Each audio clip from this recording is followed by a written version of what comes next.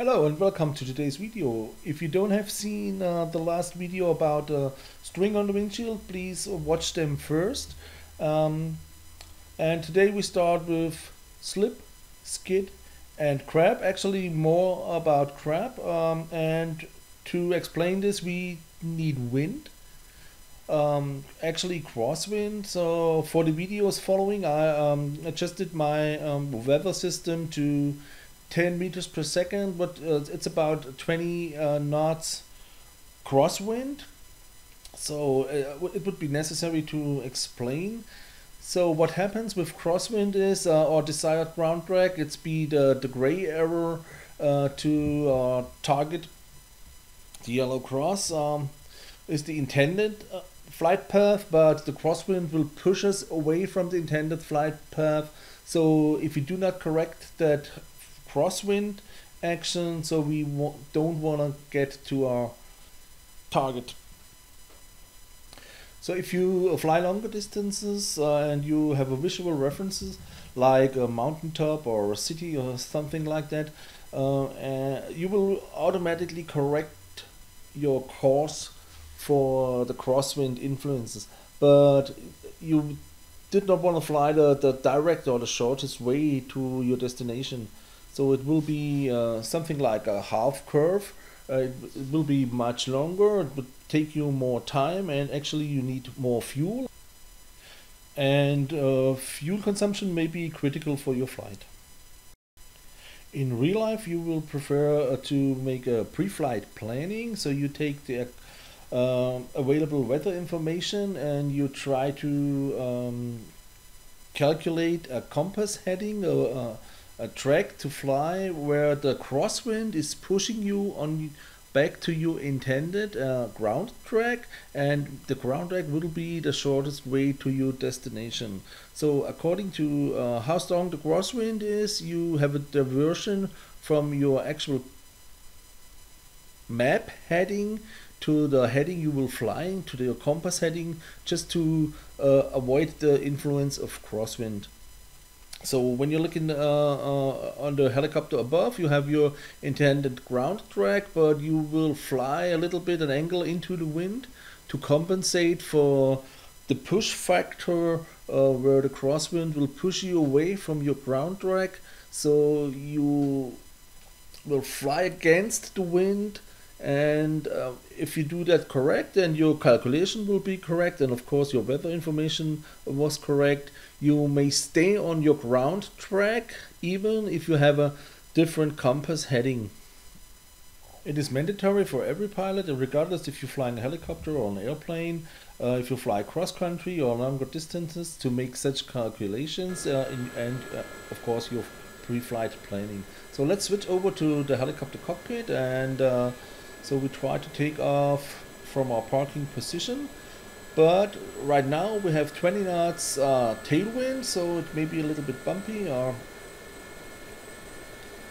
yep, a little bit difficult to take off. And we see it on the on the string on the windshield right now, the strong crosswind from the right. Uh, but now we turn into the wind so the string on the windshield will be a good uh, indicator for that. And now we try to fly direct to the end of the runway. So if you want to, if you want to reach, if you want to reach the end of the runway without uh, flying a curve or something like that, our heading should be into the wind. So we correct your fl our flight angle. Um, and we can take our string on the windshield as an indication for a correct wind correction or crab angle. So it's actual in, in, in an airplane. It's called flip uh, um, uh, or crab angle. Um, yo, that's what we do right here. And so we reach our the end of the runway in on, on the shortest way. Uh, on this point, uh, we don't use pedals. Uh, on a PC, it's uh, very hard to do that. Uh, so we talk about pedals uh, in a few minutes. So first, we turn into the wind. So when we're flying into the wind, there will be no crab angle anymore necessary. So the wind is coming from straight ahead. So we look on our string on the windshield, everything is fine, and we turn back to our runway or uh, actually um, turning on base. So uh, talking about uh, the the pedals. So in in real life, uh, forces acting on a helicopter, the wind flow over the canopy, uh, and the pressure coming from the from the tail rotor to the pedals. Um, uh, is trying to equalize it himself. So as a pilot, you can take off your feet from the pedals, and if you have forward speed, uh, uh, it, the helicopter will um, get by himself into balance. So you don't have to push pedals. Uh, that's not so easy on a PC because your pedals may have strings. Uh, springs, pardon, springs in, uh, mounted inside, so your pedals try to get always back to the neutral position. So that makes it uh, much harder on the PC to fly crab angles and stuff like that, or, or wind correction angles, because you, you don't have the the real feeling, uh, and you get always pressure from your pedals. They uh, want to try to get back into the neutral position. So right now we tr uh, I try to. That's my first time uh, flying the Gazelle with wind and actually 20 knots uh, crosswind. That's a lot in in real life we should take the other runway, but we uh, now with the crosswind landing we use the runway straight ahead, and I have to fight against the crosswind to keep the run to the helicopter over the runway, not to uh, push to the left uh, due to the crosswind coming from the right. So right now. Uh, our windshield string says uh, everything is fine and our helicopter nose is parallel to the runway but uh, I also have um, installed gust. So it's a little bit gusty so wind direction will be changed a little bit but as, oh, now it, it, comes from the right. Uh, when we closer to the runway our string on the windshield will indicate a strong crosswind from the right and uh, we now take our crab angle to prevent uh, uh, getting pushed to the left due to the crosswind, holding our crab angle close to the ground. Um, so that's a normal procedure. You don't correct uh, crab angles with pedals. You fly the helicopter close to the ground, and just before touchdown, you may use uh, you may use your pedals to bring the, take the helicopter straight out just before touchdown uh, to prevent any side backwards movements during the actual touchdown uh, because any sideward movements is very dangerous. Uh, it may lead to dynamic rollover when touching the ground. Dynamic rollover will be a subject discussed in, in another special. Okay, that was not too bad. It was not really good, but it was not too bad. So uh, let's take off for another try. So, and again, flying straight out with a crosswind from from the left with 20 knots. So um, intended destination will be uh, right from the mountains in, in, in the front. So we have to use a cross angle on, on the outside view. It make it, it's very nice to see. We have a, a, a, a much bigger gra- uh, crab angle than I thought. Um, so we keep our ground track by crabbing into the wind um, and neutralizing the crosswind effects on the helicopter. And so we stay on the shortest way turning turning final to the runway again. Second try.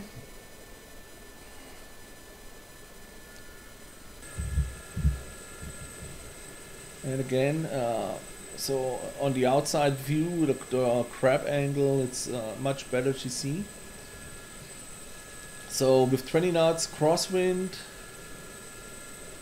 there is a big crab angle necessary to hold the helicopter um, on the runway center line, or actually to find the, the runway center line.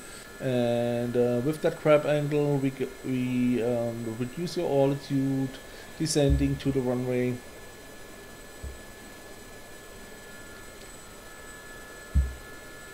And as I said, uh, in in real life, uh, the helicopter will align himself. Um, and uh, on, on the PC, we don't have the feeling uh, on the pedals. There's no for, for force feedback on the pedals from the tail rotor or something like that. That makes it much more difficult.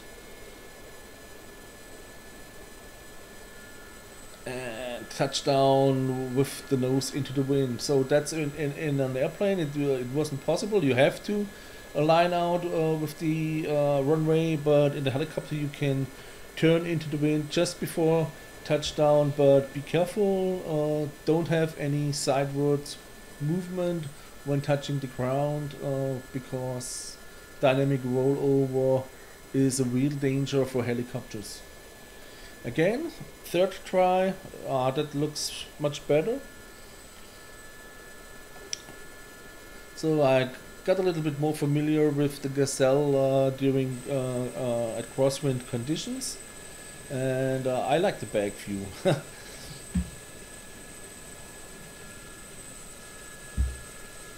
Approaching the runway, holding the crab angle.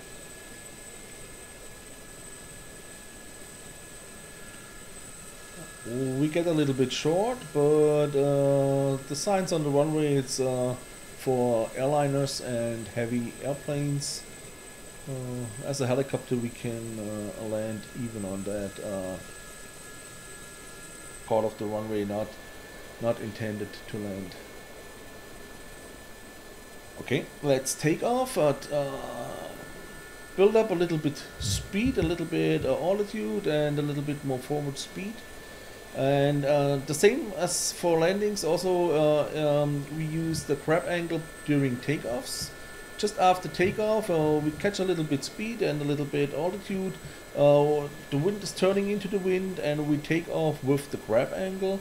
Um, right now, we do something like um, a, a quick stop, so reducing speed again, turning into the wind, and touch down the helicopter on the center line of the runway or near the center line of the runway. Uh, let's do it again. So as I said, even uh, um, during the takeoff, we use the same maneuvers. We crab into the wind right after takeoff when we get a little bit altitude, a little bit airspeed, crabbing into the wind. In this case, uh, I'm following the center line now, crabbing into the wind. And when we get airspeed above 40 knots 40 50 60 knots um, so um, the helicopter nose lines up in flight direction because of the airflow um, around the, the fuselage so uh, it works like a windsock and uh, the, the effects from the crosswind uh, will be neutralized by the, forward speed. Um, of course, except uh, for the effects during cross country uh, that the crosswind pushes us away from our desired ground track over uh, longer distances or longer flight time. So, take off again. So, uh, that's the part um, about crab. Uh, now we changing to skid and slip. Actually we're starting with slip um, when um, flying a curve we only use um, our cyclic control. We don't use pedals. According to the helicopter handbook um, you don't have to use pedals you should not use pedals when flying um, a turn regardless of to the right or to the left. Um, don't do it because you maybe come into a slip or skid situation. And if you fly a normal turn only by applying um, cyclic pressure in the direction of your intended flight. So the um, radius of your curve will be determined by the rate of bank and your actual airspeed and you don't have to use pedals if you use pedals more than necessary or less than necessary or too much to the right or too much to the left. You get into a slip situation. That means uh, your um, radius will be smaller or you get into a skid situation. That means your radius of turn will be bigger. So right now um, we starting our left turn and we apply left pedal so we come into a slip situation um, slip may be used to uh, destroy altitude intentionally destroy altitude because uh, the drag on the airfoil will be increased very much. The helicopter will drop down from the air like a stone and if you uh, apply too much pedal um, as you have seen right now the, uh, the helicopter will be uh, get out of control. So that's the real danger. And um, uh, in real life you may uh, use techniques like S-turns to descend uh, in a rapid way or you enter an auto rotation. So that's also a safe way to descend uh, with higher rates than uh, normal sink rates. So we're back in flight altitude and try it again.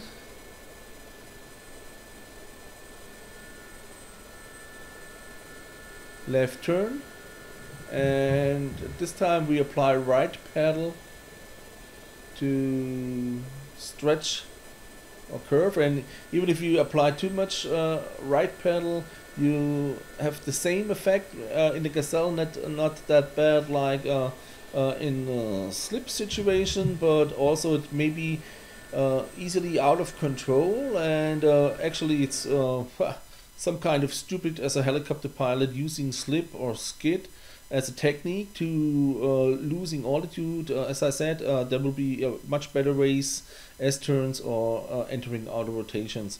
So thank you for watching. Um, please subscribe to my channel. If you do have if you do have any questions or comments, please let me know in the comments below. Thank you very much and hope I will see you again next time. Bye bye.